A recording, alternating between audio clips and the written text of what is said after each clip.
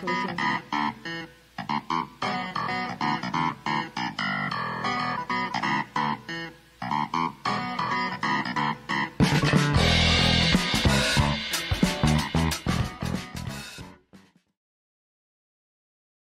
morning. You're listening to Conversations with Loulou. I'm Loulou Khazen, an entrepreneur living in Dubai, an investor, a mother, and your host. Today's episode is supported by Primal Alignment. So, Primal Alignment is a platform dedicated to people who want to get fit and stay fit. So, my friend, Coach Franky, who's a former Green Beret and a former instructor of the British Commandos training wing, is going to change your life. All you need to do is to register uh, to the online program by visiting primalalignment.net it's not a personal training session. It's more of a motivation session. So so check it out. I'm sure I'm sure you're gonna love it. My guest today is the super genuine, absolutely lovely uh, Sonia Weymuller. Uh, she's the co-founder of VentureSouq, which is a Dubai-based investment platform that invests in global tech startups. She's previously had a career in media and technology, having worked with Microsoft and Viacom. Sonia sits on several boards. She's a real badass. You can read her extensive bio in the show notes. Sonia, it's so good to have you here with me. Good morning, everyone. Good morning. I'm, I'm really looking forward to this uh, conversation. You're really honest. I, I like that. It's very it's very refreshing. Thank you. I'll need more honesty in life. Uh, we do, and I and I really love what you guys do at uh, at VentureSouq. I I mean I I've been hearing about VentureSouq for a while. I recently met one of your partners, and he told me all about it. I mean, you essentially give an opportunity for people with some extra cash, let's say, to invest in tech startups and usually this opportunity is only available to people that are very well connected in the space or super rich people right that have you know money to put in funds. So how why why was this like uh, how was this born? And how is it also now like now that uh, with covid are you still investing actively? Yeah i mean uh, we started seven years ago now right? So the the venture capital landscape in this region was in, incredibly different. It's grown so much over the last years. And so when we started, it was four of us friends. Um, we just started as an informal kind of investor club, you know, side hustle from our day jobs. We started angel investing together. And um, and what we found was that there were actually a lot of people like us in their late 20s and their 30s who wanted to invest in early stage technology businesses, but didn't feel either didn't feel like they had the platform to do so or didn't feel comfortable doing so because they felt like they couldn't make an informed decision. And so we started hosting pitch nights. We invite three entrepreneurs we found interesting, and then it just grew organically. Our friends started inviting their friends, and then fast forward seven years, and we've probably grown into the largest syndicate now in the Gulf. So we have over a thousand angel investors in our network. That's amazing. And are they like, what's the typical profile of an investor? Do you have men and women? Uh, yeah. So we have about 25% women, actually. Okay. And um, our minimum check size is $10,000 the whole ethos behind VentureSouq when we started is that we wanted to democratize access to good deal flow. Exactly what you said. And so, um, so that's why we made our, our minimum somewhat accessible. So the target demo is basically people like us, right? Like young professionals, um, don't have half a million to put in a company, but maybe have 15,000, 20,000. And the, each of them can add value in more ways than just a financial check. They can add strategic value based on each person's own professional trajectory. And can anyone join the network? I mean, provided yeah. you can spend ten or fifteen thousand dollars a year on on investing. Is there is there any other criteria? No, I mean, um, uh, there's no membership fee. You literally just send any of us an email if you meet us, and we add you to the distribution list. I think what we're becoming better at is understanding what each investor wants.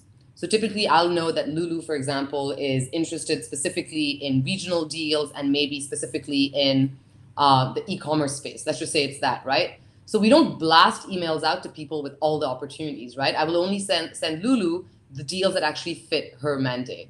Um, so so yeah, so there's no membership fee. Um, ahlan wa sahlan, everyone can join, and it is meant to be a community. It's a community of investors and of like-minded folks, essentially. And how's it been now with uh, with COVID? Are you are you still actively investing? Yeah, still actively investing. Um, listen, I think COVID's difficult for, for a lot of entrepreneurs. I think it is going to be survival of the fittest. I think what's interesting about this period is that most VCs tend to focus on scalability, right? So scalability tends to be the buzzword. How scalable is this business? Is the question that most entrepreneurs get from VCs. And for us now, it's not been about scaling up. It's like how how good is this company at scaling down, right? And so What how agile is it? So how agile is it to actually cut costs? Because it's going to be a difficult fundraising fundraising environment for many. And so, you know, those companies that have just fundraised are probably in a good spot because they have enough runway for the next at least 12 months, hopefully, if not 24. The ones who haven't fundraised recently are the ones that have to tighten their belt right now. So whether it be laying people off, whether it be cutting costs, salary cuts, uh, marketing, obviously reductions, etc. There's all these different ways, but I mean, it's kind of the name of the game now, unfortunately. Have people uh, are people more reluctant now to invest? Investors in general, uh, or have you like, or are they maybe looking at? Are they becoming more picky about certain sectors, for instance?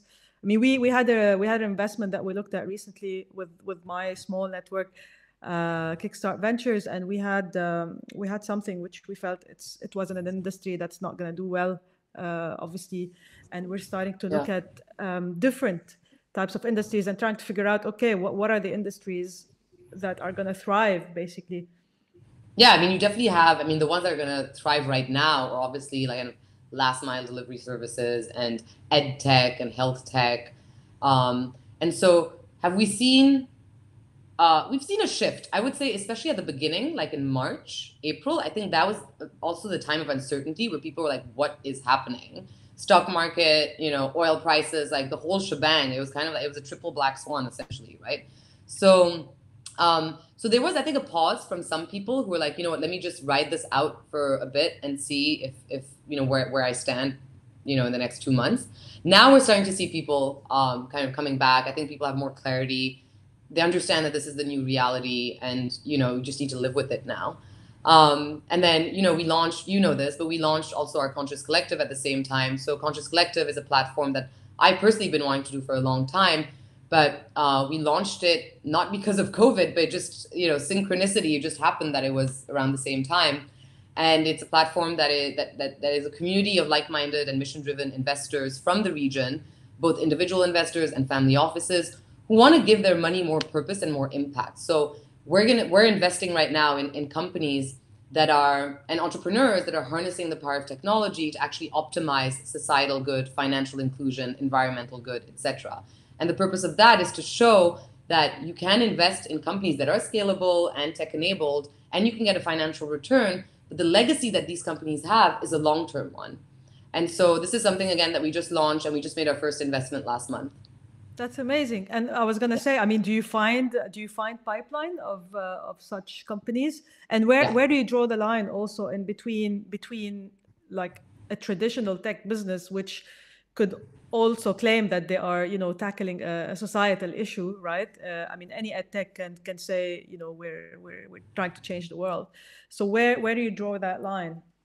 I think it depends on like what the target demographic is for the company, right? If it's an ed tech company that's targeting like a bunch of affluent kids, that's probably not something that we would look at, right? They really need to fill a gap, especially for the underserved, right? If you're an ed tech platform and you're looking to actually democratize learning, that's something that resonates with me a lot more than I've come up with another ed tech platform to make it easier for affluent 10 year olds to, you know, learn online. Um, this is because I come from a, a consulting background, like a strategy background. I like to have like check boxes.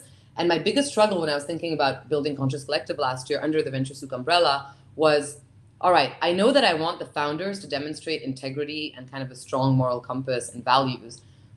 What does that mean, right? Because that's somewhat subjective when you think about it, right? And so I spent like a couple of months like being like, what does this mean? Like, how can I translate that into like a checkbox or a rating system, etc. And I actually met with Mudassir and like a bunch of other ex McKinsey people. so and I was like, help the me. is the, The CEO founder of Careem. of Careem just yeah. Yeah.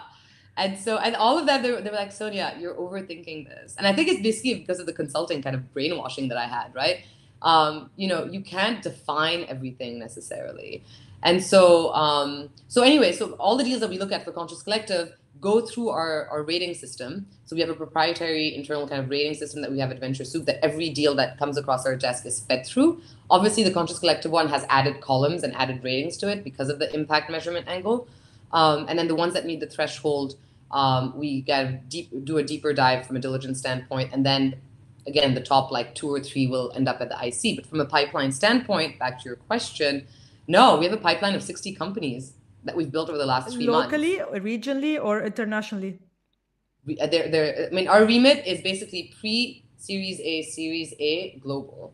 Um, but quite a few companies from this. So, region, can you actually. clarify what that means? Just, just to be so basically, like, we listening. So, what's a what's a pre-Series A and Series A? So we wouldn't invest. So in, for our purposes, we wouldn't invest in a company that has an like a minimum viable product, like an MVP, and doesn't have any traction, and they're still testing stuff out, etc. That's just too early for. And by traction, you mean revenue, or what do you mean exactly? Yeah, there, there has to be some proof of concept, right? That this is demonstrating a, a, need and that there's demand for this product specifically. So, um, so yeah, so there has to be some level of traction. The other things that we look at, obviously, aside from the traction, is who are the other investors, right? Because we wouldn't lead any of the rounds because our check sizes are pretty small. Um, but if there's uh, a well-known investor who has experience in the specific sector, if it's environmental technology, for example, that would be taken into account as well. Um, and in fact, we would probably speak with that investor as well about the investment. Um, so yeah, I mean, like any VC, you look at team, you look at product, um, and then you look at obviously what the competitive landscape is like. But the team, obviously, at this stage is what's the most important, right? Because you can have you can have the greatest idea in a mediocre team and the idea is not going to go anywhere right you've heard this before right but you can have a okay interesting idea but an amazing team and then that'll skyrocket most likely I think an amazing team can, uh, you know, can maybe even trump the idea. We we invested in a in a company recently that's in the in the B two B travel space, and obviously b2b travel is now you know non-existent. So and they're they're actually pivoting you know they're they're working on new ideas uh, and and that's what strong founders do. So i i think the team you know the team is super important. I love your point about um, uh, like a checklist a founder checklist. I i you know i would be interested to know what what you come up with uh, yeah. eventually. I mean, I think yeah. Because i'll well, tell you why. no, I think yeah.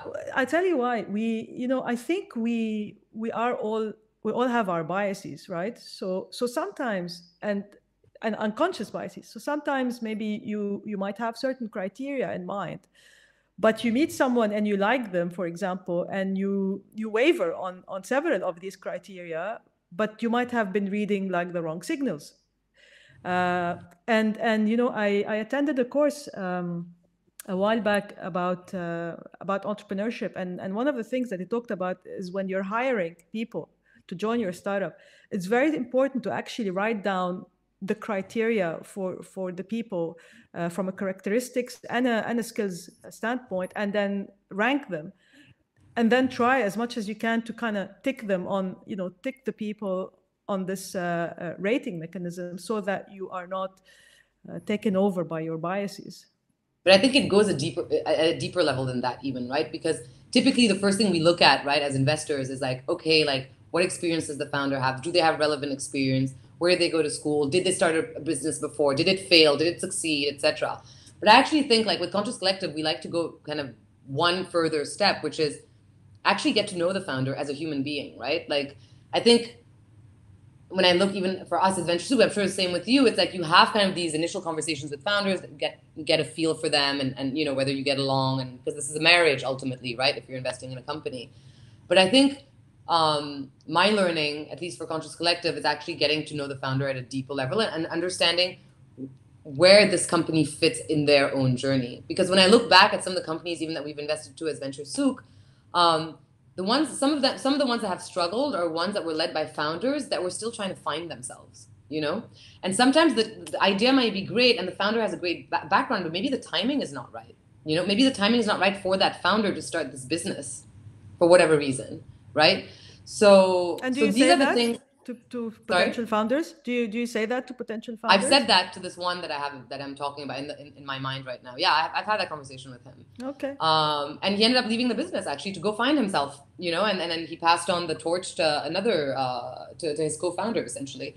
And, and that's important because it, it's, it's, it's, it's normal, right? Forget our ecosystem. I think we're all kind of on this journey of, of self-awareness and trying to kind of better understand ourselves, right? Um, and you know they say that for relationships even right? Even like you know you should know yourself before you get into a relationship or marry someone else right? It's important that you know what you want before you get into a relationship with someone else. And i think it's the same in this case as well right? You want to make sure that the founder is is self-aware enough and that takes work. Self-awareness doesn't just happen like this. I mean both you and i know that like we're still discovering time. things about it ourselves. time. yeah it does take time. And you're going to evolve as a human being as well right? So it's just making sure that like all the ingredients are there at the right time essentially that's, by the way, one of my things when uh, when you have all of these programs that try to encourage university students to become entrepreneurs. And like to me, I'm thinking, okay, I, I started Nabbesh when I was 30. Uh, and still, I feel like I was relatively young, you know, to have that responsibility.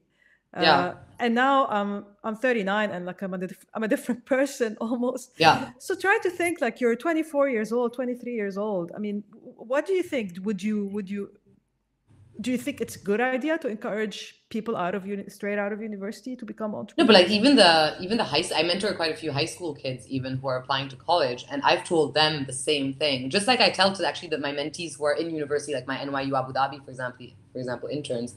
I always say like to the high school students, I say go with an open mind. When I went for my undergrad to the US, I thought I was going to major in econ because I did my French baccalaureate in econ in Paris, right? So I was like, oh well, this makes sense, right? Got there, but then I took all these amazing different that's the beauty of the liberal arts education in the US I have to say. It's like you take all these amazing classes and you only have to decide what you're going to focus on by the end of your second year of university. And I ended up you know thinking I was going to major in art history thinking I was going to major in sociology and then I ended up majoring in politics right? And so what I say is that and that's why I don't believe in five year plans. I think five year plans are maybe somewhat useful kind of to have kind of goals maybe kind of directionally.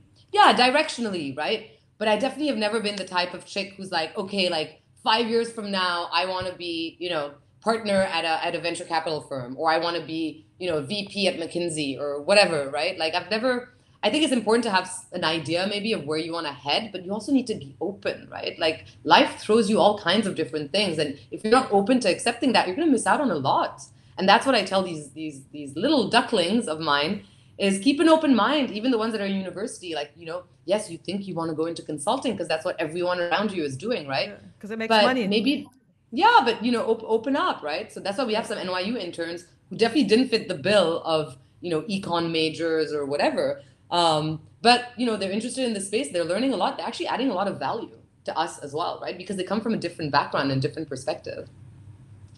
Yeah, well, that's that's that's that's pretty cool, and uh, and I'm I'm glad you agree. I was gonna say. Um, I think maybe instead of having a five year five year plan, what would be really good is to have a set of values, maybe that that kind of drive you, you know. So maybe maybe you would say, okay, I'm a I'm gonna be open and honest uh, in all my interaction, or or I'm going to be uh, helpful, or or a certain set of values, maybe that kind of be your guiding principles versus saying like in five years I want to be this. Would you would you agree? No, I agree, and I also think that I, I, think the educational system needs to shift as well, which is why it's going to be interesting to see what happens now, right? That we're seeing a bit of a shift happening to online.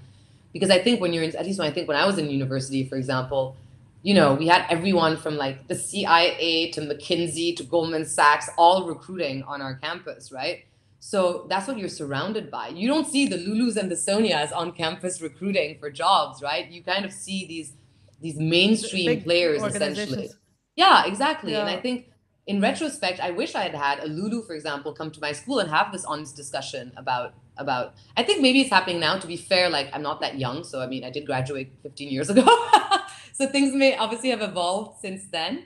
Um, but not yeah, much, I mean, there are things. Not much. I, I'm I'm mentoring university students uh, even today, and and I still yeah. see this. You know, you have. Uh, Emirati uh, uh, students that want to join the government because you know it's uh, it's uh, it's not a lot of hours and they get paid really well and stuff like that. So it's very difficult to, and I'm sure you know everybody uh, else would probably want to work for those big companies versus uh, working for like a smaller company and stuff. So it's it's still yeah. there and there's a, there's a lot of work to be done and maybe maybe what we need to do when we mentor uh, uh, high school students and university students is maybe talk to them about the entrepreneurial mindset and maybe yeah. not necessarily them going out and launching startups but but how to think maybe like entrepreneurs yeah, yeah. and also just not to overthink i think because I think there's a lot of pressure when you're in school. You're getting pressure from the school and you're getting pressure from your families, especially there's a cultural angle to this as well, right? When you come from the East, whether it be from the Middle East or whether it be from, you know, uh, South Asia, it's the same thing, right? It's like, oh, you should be a doctor, you should be an engineer, you should be at this, you should be at that, right? But then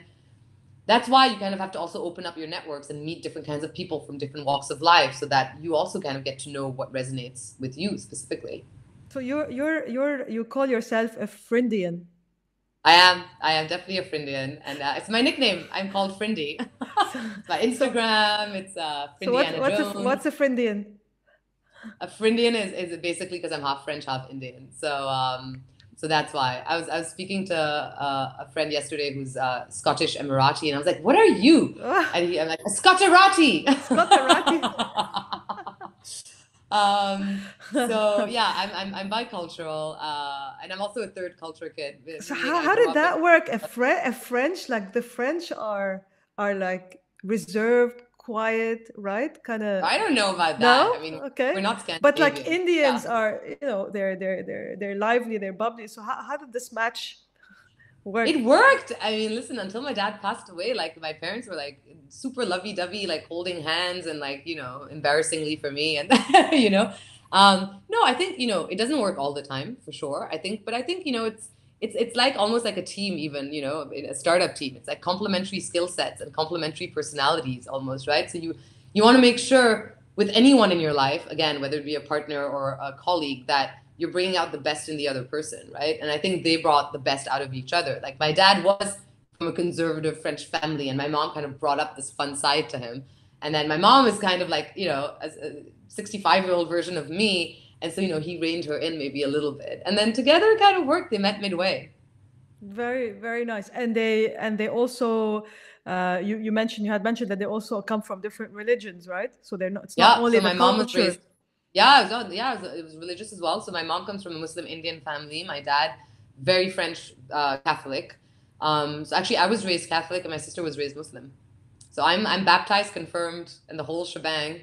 Um, and I'm, I'm I'm now agnostic and spiritual, by the way. But uh, I went to a Jesuit high school. Like I did the whole, you know, So royal how- religious path.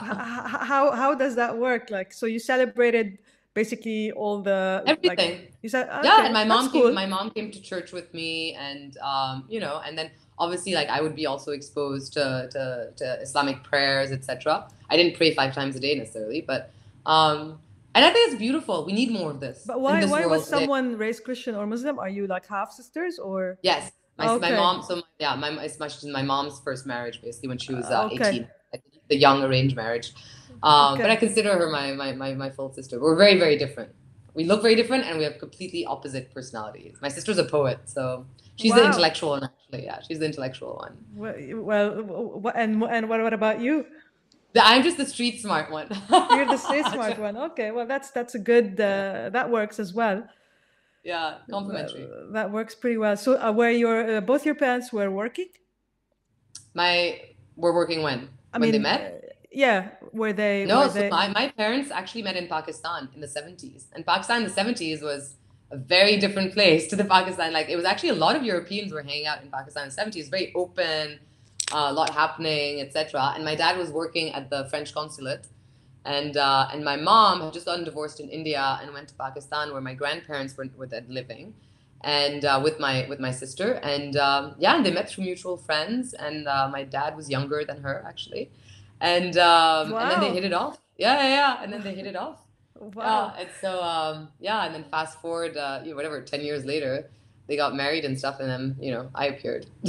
And you appeared. And and what what did they i mean what was important to them that they kind of like passed on to you? Both families i think but especially i think maybe more like my mom's family maybe especially but like definitely the idea that that if that like you know that if, you can be helpful be helpful to people you know and i think that that's something that i've held close to my heart since i was a kid essentially and i think that's probably actually one of the first things that people would say if you were to ask them to describe me is like well sonia's super helpful or she's a connector or some people have called me a human router because I'll just automatically connect people. No expectations, but just like if I'm having conversation with you and I'm like, oh, Loulou mentioned this, I should introduce her to so and so. And then I just make the connections. Um, that's my way, I guess, of, of, of contributing to someone's journey is, is just kind of making sure that people who I feel should maybe cross paths can cross paths. And sometimes people don't have the access, right? It's an accessibility issue necessarily. And I'm fortunate, I think, that I have access to quite a, a lot of different people from different backgrounds. Like I don't only hang out in my ecosystem kind of echo chamber, you know? So I know I know people from all kinds of different industries and different verticals and different trajectories, etc where I feel like I'm good at matching, and hopefully something productive and positive comes out of, of that encounter. That's a that's a huge um, uh, skill to have, right? Also, I mean, well, it's not, and it's not. You know what I've noticed? It's not something that people do. I don't know why. I feel like yes, I think yeah. a lot of people are very territorial about their relationships. You know, and I find that's a pity because actually, people kind of, some people benefit uh, financially from the relationship, and yeah, and then some people obviously attach yeah a commission or whatever, which yeah. I, I would not do, but um, but yeah, which is unfortunate because like if you feel strongly that two people should meet, you should just facilitate that and let them, and something beautiful might come out of that meeting, you know. And you've been part of that journey, like have, you know. Have you been helpful at all, and then you regretted it, or you felt that maybe the the people weren't worthy of your help or something? Has it has it ever backfired? Not that I know of, but that doesn't mean that it hasn't, right? It's just that it hasn't come back to me that it backfired, maybe. I mean, obviously there are conversations that I was like, oh, like thanks for introducing me.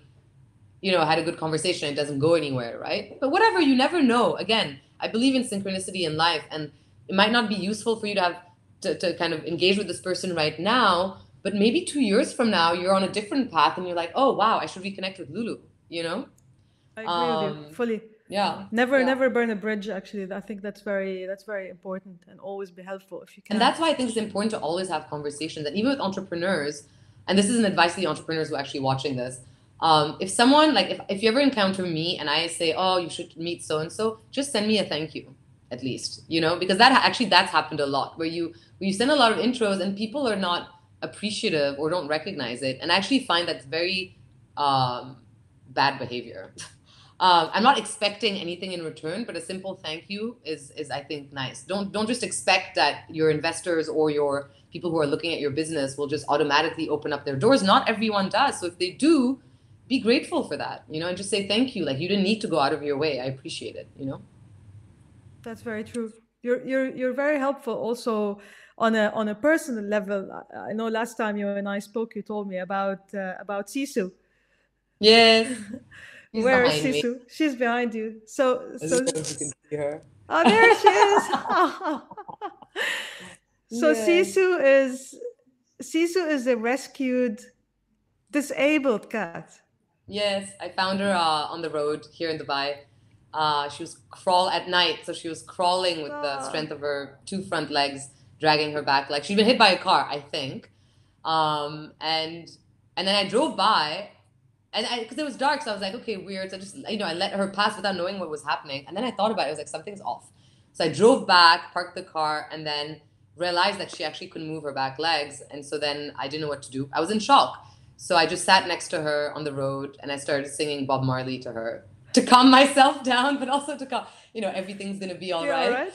and uh, and then that's when I saw the beauty of of Dubai's like you know kind of grassroots community when it comes to animal rescue. I'm part of this Facebook group. I posted, I was like, help, I'm here. I don't know what to do. And then within half an hour, someone showed up with a cat carrier and was like, Sonia, take her to this vet that's open at 9 p.m., um, etc. And then, yeah, and then the vet said, like, she's not going to walk again. Spinal injury, put her down. And I was like, I don't, I don't feel like I want to do that. And so she's not in pain. Uh, she zooms around, and I think she's healing me as much as much as I'm healing her. Actually, to be perfectly, to be perfect, little cat of determination. I, wow, that's that's oh. such a such a sweet story. And and what, what does Sisu what does Sisu mean? So Sisu, when you get to the vet here, they ask you for the patient's name, right? And I was like, patient's names. And I was thinking like Greek goddess names, like strong names. I wanted a strong name, right? Then I came across this word called sisu in Finnish, the Finnish word, and it basically means um, extreme courage in the face of extraordinary adversity. And what I found out, interestingly, because two weeks later, my tenant, who ended up taking my flat, was actually Finnish. Um, he said that this is actually a way of being in Finland. Like if you Google Sisu, there's books written on becoming or finding your Sisu and all this stuff. And it's actually like it's it's it's it's a philosophy of life in Finland, which I found fascinating. People name their boat sisu. My friend actually uses the word sisu, American friend by the way, to um, to define kind of what entrepreneurs need to succeed. Wow! Because it's resilience and it's grit, you know. Um, yeah, so it's, it's and it's a short, cute name as well, but it's also just a meaningful name. So well, she, she's she's lucky to have found you. That's for sure. Yes. You well, are, they say cats find you, so she definitely they, found they do. the right human. they do they do you are you are a softie after all i mean that's that's, that's I do such have a, a soft heart amidst the you know the strong appearance sometimes yeah people think you're strong I think a lot of us people have this image of, uh, of of strength, right? Like if you look at a lot of the female founders in our ecosystem, Sarah Appleton, Ambareen Musa, you, me, like I think everyone thinks that everyone probably thinks we have it all figured out, right? And we don't. Like, I mean, I don't think any of us have it. I mean, I can't speak for Sarah and, and, Breen, but I mean, or you even, but like, I, you know, I haven't figured it out. I'm just kind of on my journey and just kind of appreciating the journey that I'm on while keeping an open mind and being receptive to, to other things that come into my life. So, um, I think it's difficult for, for women because on the one hand they feel like they need to portray a certain, especially in this region where it's very image centric, and you know you feel like you need to portray a certain a certain image on stage, for example, when you're speaking, when really I think what resonates the most with people who listen or watch you on stage is, is your authenticity, right? Like sharing kind of the, the hard milestones that you've had in your life, not just the good ones, because it's more likely than, than not that most people are going to go through those hard times. So it's a lot more kind of helpful if you actually talk about those hard times than rather than you just talk about the good times and how you made it, how you're a success and like, etc. It's like, no, like you know how did you address some of the tough times that you actually encountered in your life? No but nobody asks you these questions though. Like if you you know every yeah, every press article that you read out there it's always about so and so has raised so much money or so and so has sold their company or or, it's always uh, you know and that puts a lot of pressure success, on entrepreneurs. quote unquote. Yeah it puts a lot of pressure on entrepreneurs. And i really feel for the entrepreneurs today the ones that are struggling because of covid because you have this huge amount of pressure. You see all these articles left, right, and center on all these raises and all these like successful founders, like on the front, front page of all these magazines and stuff.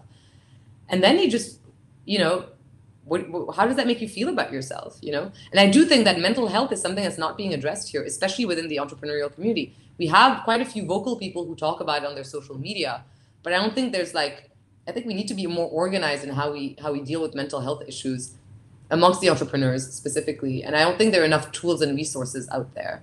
Um, and I think, I hope that that's something that may come out of, of this period, even. Well, maybe, maybe with something we should have as a group for entrepreneurs in this region that are having problems that want to like just vent and, and, and talk about them. But it's tough like, because entrepreneurs sometimes don't feel comfortable doing that because no. they don't want to be seen as weak, you know? Yeah, but maybe like what I should. did a session Tell I did a session of, uh, a month ago with uh, an entrepreneur in Bahrain, and it was the most beautiful session. He opened up about so many different topics, from spirituality to this culture of shame. You know, he left his cushy job to do this this this startup, and uh, and it was surreal for me because I was like, you know what? In the normal circumstances, I would have never had this conversation with this entrepreneur, right? But he was all he needed was a listener, you know, an active listener, and and for us to be able to have this conversation, I mean, like a Bahraini male entrepreneur opening up to a female expat investor, you know, um, I think he just needed to be heard and heard by someone who kind of understands, you know, his world. So not a friend or a spouse or you know, or someone who can't relate to what they're going through. And so this is a conversation I've had with quite a few people around me. I was talking about this yesterday with a friend as well, where it's like, you know, it doesn't have to be. I'm not a trained psychiatrist, by the way, but I empathize because I understand what some of these entrepreneurs are going through. And sometimes if I can help just with a, a, few words or just even listen, I think that's what they need. They just need to get it off their chest. It's like a form of release almost, you know? I think we need to we need to ask like somebody needs to ask the questions as well. And maybe also not label like you it's not like you're a successful entrepreneur or you're a failure, right? So there's you know there's there's a lot that kind of goes on in the middle and maybe if we don't put labels and we start asking more exciting questions you know the people that are in the media space instead of like okay how much did you raise and what's your expansion plan? But maybe you know they have other challenges. Well i challenge um, you to then have a panel of three entrepreneurs who will be willing to be open with you and share some of the challenges that they faced. And then you ask the right questions exactly what you just said.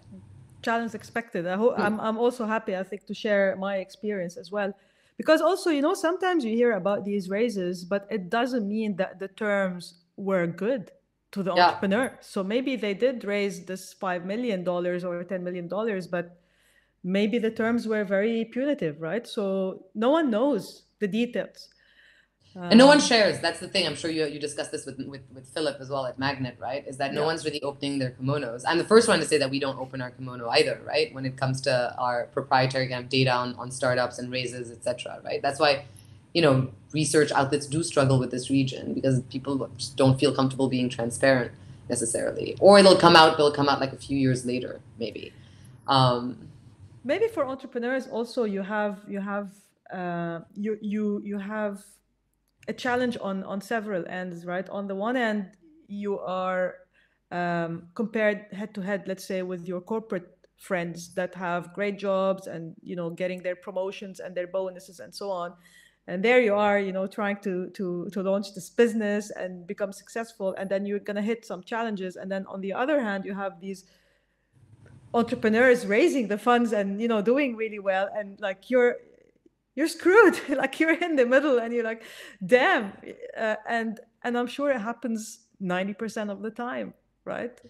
Yeah. I mean i think if you do decide to take kind of the entrepreneurial plunge and you can speak about this as well right? You, like it's not a decision where that you just make in a day right? Like i remember even when i jumped ship on my end from corporate to VentureSouq um, I, I soundboarded with my mentors. And i guess in my case i was at a point in my career where i felt like the learning curve was stagnant and so I felt like this was the right time to do it because I was in my late 20s, didn't have any responsibilities, still don't have any responsibilities other than my cat. Do, um, yeah. But yeah, yeah, but um, but you know, it was it was kind of the, the right time, right place, right time, that type of scenario. Um, but that said, it's still a major decision to take because you're you're leaving the the comfort of a cushy monthly paycheck towards kind of the unknown essentially. So right? why why did you do it? Like, I mean, you could have taken another job in a different industry. I could have very easily done that. Yeah. So, um, so why start a business? I think so. My dad passed away ten years ago, pretty suddenly, like as in like died in front of me, pretty much, um, at a young age, and he was healthy and stuff. And so, I can say this in retrospect because I don't think I processed processed it in this way when I was 25 when it happened. But um, in retrospect, I don't think I would have had the the courage to actually jump ship had it not been for his passing. Because I think unless you've been through something like that where either you lose a parent or you lose a close friend etc you don't really think about your mortality. I mean you kind of think about it but like you know it's not like front of mind necessarily. And so so when he passed away i kind of had to take, kind of step up in the family and essentially act as like almost like the older son in a family you know and kind of take over kind of the, the admin stuff and, and the finances and, and all that stuff and obviously be there for my mom my sister. And um and so I feel like I matured a lot. Like it accelerated my my my entry into adulthood almost um, between the ages of, of 25 onwards, essentially. Um, and so I think it made me a lot more reflective, not at that specific time, but maybe in the years after that, in terms of how I'm I'm spending my time and what I want to do. And I think that's why I ended up feeling motivated because I was like, you know what, life is short. Like if I don't do this now, who knows what'll happen. And I didn't, if I hadn't had that kind of mindset because of what happened, I probably would have gone for that other job offer that was cushy, you know? Um, so yeah, so I do, I do, I do owe it to my dad, I think, for pushing me in a way. Um, he's probably, and, I, and he's probably laughing from heaven, by the way, because my dad was in finance and his dream was for me to end up in finance like him. And I resisted, resisted, resisted. Um, and then now it's kind of come full circle. I'm actually in finance financing startups. So, so he's probably having a good laugh. I'm sure he's happy and he's proud. You've done, no, you've done, proud. you've done, you've done really well. What about your mom? What did she want you to be? Um, my because usually, usually Indians have a plan, right? Like a long-term plan for yeah, their kids. But my mom's, but my mom's own trajectory was a bit different herself, right? Like she got married very early and like you know got divorced very early, and then so she's always been very open. In fact, when I applied for college in the states, I went to quite a conservative high school where in the history of my high school, no one had ever gone to school in the States. Um, you want to go abroad, you go to the UK, you go to Germany, but you don't go to the US. And so, um, so when I was applying for universities, actually my mom was very encouraging um, of, of my applying because, you know, even though it's far from, from Paris and stuff, she was like, you need to find yourself, and, and the liberal arts kind of education system is a good one to kind of you know, test stuff out. It's not like you have to apply with a specific major like some of the other educational system in other markets. So, so my mom, so my mom also had had her own challenges. So she got cancer, breast cancer, when uh, about 26 years ago. Touch wood, she's fine. She's still alive and kicking it and rocking it. Um, and um, I was nine at the time, and that's what prompted actually the move. We were living in Tokyo at the time to New York for her treatment. And um, yeah, it was it was quite shocking. I mean, obviously, as, as a nine year old, but I don't think I understood what was happening. Like, I didn't know what cancer was. I didn't know what chemo was. I didn't know what any of these things. I could see that my mom looked a bit different. Um, but that was it. I definitely didn't, you know, I wasn't mature enough to reflect on what was happening. I was, I was more worried about, oh my God, like we just moved from Tokyo. I didn't get to say goodbye to my friends and I have to make new friends in the school in New York now. you know, like when you're nine, it's like, you know, I mean, I think nine year olds today are probably very different because they're more precocious. But, you know, back in the age of innocence when you and I were, were, were like normal kids, pre social media, uh, we were still pretty innocent, right, at that age. But for you not so, to feel it, like she must have been quite strong, you know, in uh, in fighting it. And my mom is extremely I mean, Some people would probably break down when they have uh, such news, right? I'm sure she did break down. I'm sure there were breakdowns kind of in the background. Obviously, she wouldn't show that to her her daughter necessarily or her daughters necessarily. But um, but back to the earlier point of of of, of helping. Even after her treatment, she would still go to the hospital where she was treated and sit in the waiting room and just talk to the other patients there. You know, uh, because she felt that you know it, it she, they could empathize and you know she could empathize with their experience and seeing her having gone through it is, is would, would give them kind of you know positive a positive outlook on their own treatment. It's amazing. So so yeah I mean, strong even, strong women. you know back again if you go back you know talking also openly about cancer it wasn't wasn't something that people just did right? People just didn't really share these things. And uh, and in general like people who are sick they're usually uh, uh, it's, it's difficult for them to get like the support around them. So it's it's amazing like what she's done. It's also cultural i think. Like i think again back to the east i think that the, the us speaks very openly about diseases and illnesses etc i think here in the east whether again whether it be the middle east or, or far east etc um, there's it, it is culturally yeah. taboo. Actually even in france to be honest like it's culturally taboo. Um, people just don't talk about illnesses because I think maybe because it's perceived as a sign of weakness. When really should be maybe when it should be perceived as a sign of strength because you know yes you're being vulnerable because of what's happening but you know you're also getting through it you know? So it should be seen as a and so that's a narrative that needs to change as well right? And we're seeing this change now because quite a few women who are well known who've had all kinds of illnesses have been very vocal about it through their social media channels um, but yeah, but that was a different time. Again, this was pre iPhone, pre social media, pre you know, it's a different era almost. Where do you stand? I mean, great point. I was going to mention social media. So where where do you stand on being like vocal for the with the purpose of educating uh, and creating empathy uh, and helping people understand, for example, how to deal with uh, such diseases, or vocal uh, and just basically airing everything out on social media and you know putting all the details out and yeah. I mean i think there's two things in that. Like one is that i think awareness is very important and i think that's one thing that social media does well. Um, most of the time maybe not all the time but at least in terms of when it comes to uh, bringing awareness around specific diseases or illnesses or, or challenges. Um, people airing about it i personally don't have I, I, personally don't have an issue with it. Like it's their own journey. And that's the second point right? It's that people who are going through things like this health challenges for example have their own way of dealing with it. Some people just don't want to talk about it or they prefer to meditate on it or you know it's a personal journey. Others it's therapeutic to talk about it. It's therapeutic for them to post pictures of themselves going through their treatments on social media or the journeys etc and i think ultimately to each their own like i'm not one to judge etc i do think when it comes to so for example with cancer specifically um, i think people especially people our age like you always think oh like so and so died of cancer. That's never going to happen to me. Or you watch like a movie and like someone has cancer in the movie and it's like all right this is sad. Well this is never going to happen to me right?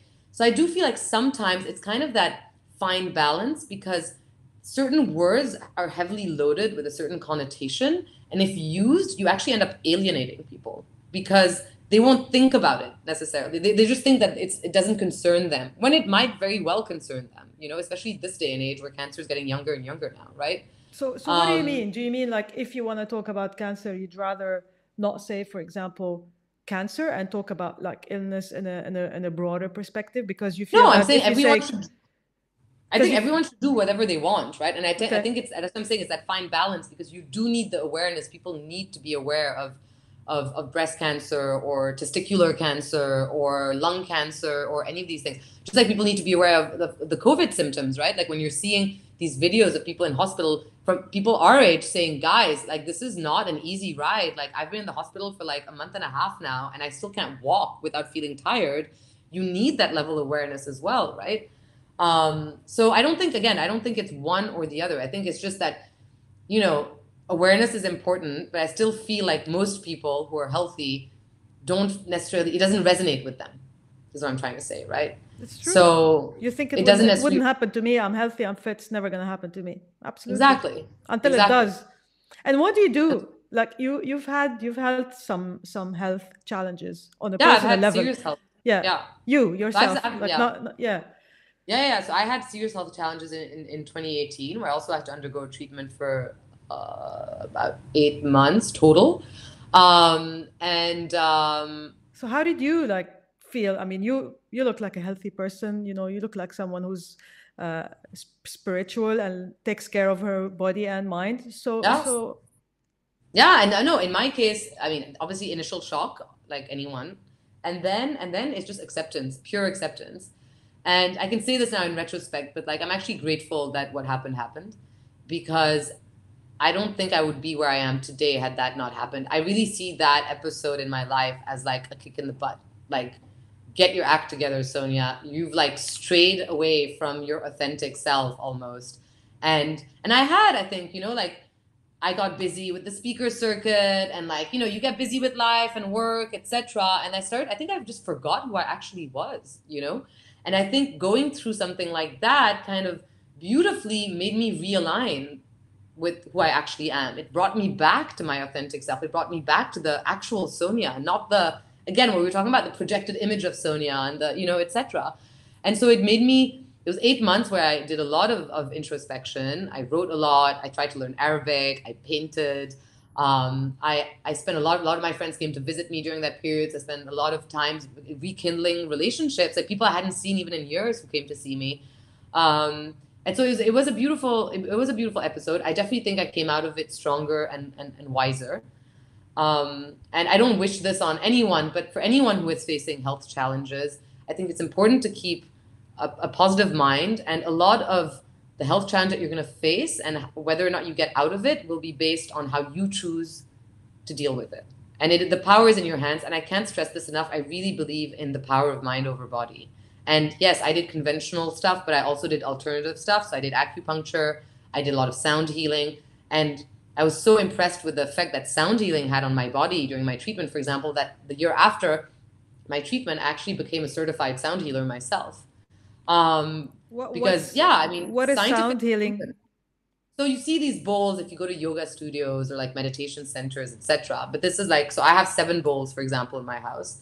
And like if you were to come to my house, you would lie super relaxing, by the way, for the person who's receiving it. You just lie on the floor. You don't have to do anything. You just lie there and then I basically do kind of these. I, I put these bowls on different parts of your body to release um, certain parts of your bodies that might be blocked, and um, and obviously because like if you think put water in any of these bowls and you hit it, you'll see the droplets of water because of the sign sound coming out, right?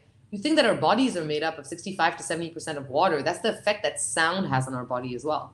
And since then, I've become super hypersensitive to sound as well. Like I'm super careful of what I choose to bring into my body as a sound right? Like the type of music that I choose to listen to. Like I'm, I'm very mindful actually of, of, of toxic noise essentially.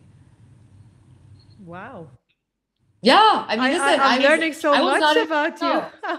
I'm not, by the way, I'm not like some like, you know, kind of new agey yogi type person. I don't do yoga or anything, but there's certain things like sound healing is actually scientifically backed. Like there's certain things that that I think are not part of our conventional approaches in medicine that should be taken into account actually um, including acupuncture. I've done acupuncture on Sisu as well, by the way. And well, I mean, we did. I know we she must have sessions. freaked out. No, she was so calm. I was so proud of her. Really? Um, yeah, I've done sound healing on her as well, by the way. Um, but um, no, we had to stop. We only did two sessions because then COVID hit. So yeah, but I have pictures of her with little. You can follow her on Instagram. She's on Sisu says. She has little her little thing on her spine, and she was calm. Even the vet was like, Sonia, I'm so impressed. Like usually I have to sedate animals when I do this, and she just is there for 20 minutes with needles in her. wow, wow. Yeah, impressive, huh?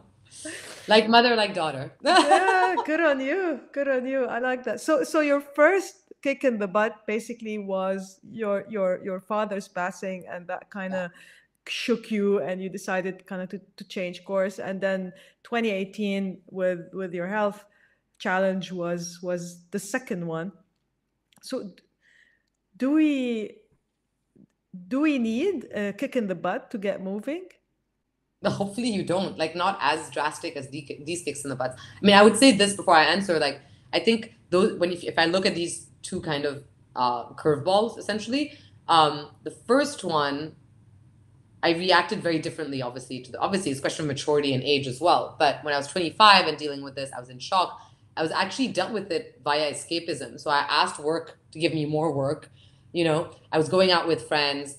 I was not spending time with myself to actually address what had just happened. And instead, I was just trying to keep myself busy to not think about it. And I actually think that ended up hitting me in the ass. And it's probably why I got, you know, sick again. Uh, well, sick that, that, that first time in 2018 uh, was I think a lot of pent up emotions as well that weren't addressed. The second time that I, that the curveball, so my health issue this, this time, I chose to actually address it head on. And, and I think I obviously maturity is one thing, but but also I think just realizing that I didn't deal with that first curveball the way I should have, you know? And so, and, and what I found myself interestingly in 2018 is I ended up dealing with both curveballs that year. I finally accepted and dealt with my father's death, and I accepted and dealt with what I was going through as well. So, yeah, so I think in a way, I blessing in disguise because I think I believe in epigenetics and I believe in emotions linked to your health etc and you know there's a lot of stuff that's just that we don't know about why we get sick right? Like even, even if you think about something like cancer like you know we all have cancer cells in our body. Why is it that they're catalyzed in like my mom and not you you know? Like it, it, it's all these we don't know. Like do- doctors are very good at treating the symptoms. They don't know what originates like how it originates. So um so yeah so it's, it's, it's been interesting. So what what would you say i mean having been through what you've been through uh, what would you say to someone who's feeling overwhelmed, you know, or who is uh, or who's dealing with pain, for example? Like, what's your what's your advice? I definitely, I mean, I based on my at least experience, um, what I felt felt worked was um, sitting with myself, not going out with friends and being busy or like watching Netflix or like whatever. Like, sit with yourself and listen to yourself. Like, what are you feeling? You know, like ask yourself, how are you? How am I? Um, and if you feel emotional and you feel like you need to cry because you're not doing well, then please cry. That release is so important. I feel like we don't cry enough as a society. Um, and and that's your that's a that's a physical release, right? So crying is actually really important. So if you feel like these pent up emotions when you sit by yourself, let it go. Just let it just let it go. Just cry. Cry yourself to sleep. Cry, cry, cry as much as you need to cry. Get it out, basically. Um, so acceptance is, and, and that is part of the acceptance, I guess, stage in a way, right? You're accepting how you're feeling, you're affect, you're accepting how it's affecting you, etc. And then once you, you know, feel comfortable accepting it and recognizing what's happening to you, then think about how you're going to learn from this experience, right? So what are the, and this comes, it's easier to come for you, for this to come kind of after the fact almost, but I think I was very mindful in 2018 about my daily learnings almost, right? Okay, so what did I learn today from going to my treatment? How what did I learn today from going to my sound healing? What did I, you know, learn today from this difficult conversation I had with my partner at the time? Um, so taking these kind of daily learnings and you end up growing like you really end up growing it's, it's really an acceleration of growth in a way and that's why i say like i think regardless of what you believe in god the universe energy etc it's happening for a reason. It really is happening for a reason, but it's up to you to understand why it's happening and what you can learn from it and how you're going to grow from it. Because you don't want to go back to square one after go, having gone through something like this, you know? That's very true. You you want yeah. you, it, but it starts with you, as you said. You need to have that willingness uh, to improve or willingness to to learn something from it. Absolutely. Yeah. My last question to you, and I hear Sisu in the background. I know. I'm sorry, my little one. my last question to you: If if I were to give you a magic wand, what's the one thing you would change in the world? Wow. Um, I think I would reignite empathy across all humans. I know it's in all of us, but many have forgotten that that empathy and that altruism that we were talking about that's inside of us. We are all born as good people, but some of us just end up straying the wrong way. And I think if I had a magic wand like the fairy godmother in Cinderella, where I'm like, empathy, empathy, empathy, empathy, empathy, empathy, empathy. That's what I would do. I love that. Thank you so much, Sonia, for your You're time. Welcome. Thank you. Uh, lots of learning. Thanks a lot for sharing so openly. You're welcome. Thank you so much. And thank you to the listeners and the viewers. Yeah, and everyone who's listening, um, this is episode seven of Conversations with Loulou. And uh, I'd love your support. If you like the show, please subscribe. Uh, it's Conversation with Loulou on all the podcast players. Uh, and there's also Conversations with Loulou YouTube channel. And uh, please share and tell your friends about it if you like it. And stay safe, everybody. I'd love to hear your feedback. You can support the show by subscribing for free and leaving us a review on any of the platforms. Until next time, Stay safe, everyone.